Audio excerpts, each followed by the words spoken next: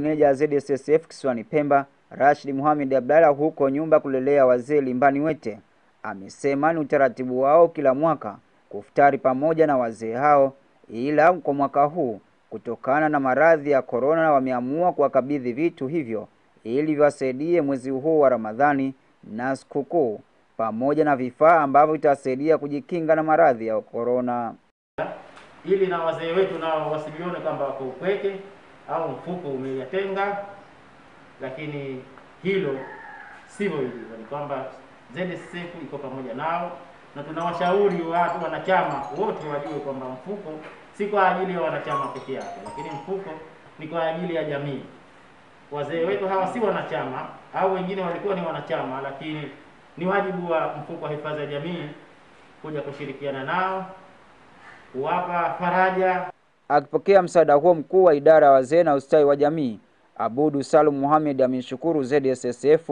kwa juhudi zao za kujali wazee kwa kuwapatia msaada huo. na idara ya wazee na ustawi wa jamii,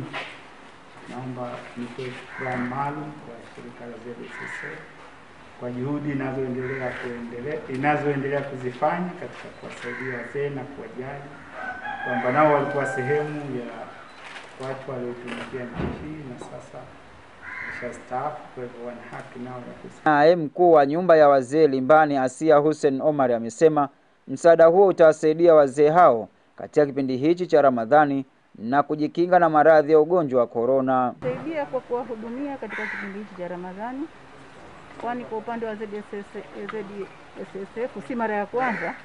kutupa misaada kama hii. Kwa kawaida wanakuja hapa kwa kutufurisha mara nyingine, na pia hutoa zawadi maalum kwa sababu ya kuwafariji wazee, ikiwemo mavazi, viatu, na kwa wanaume pia wanapata kivazi kamili. Nikiripoti kutoka hapa kisiwani Pemba, mimi ni Kela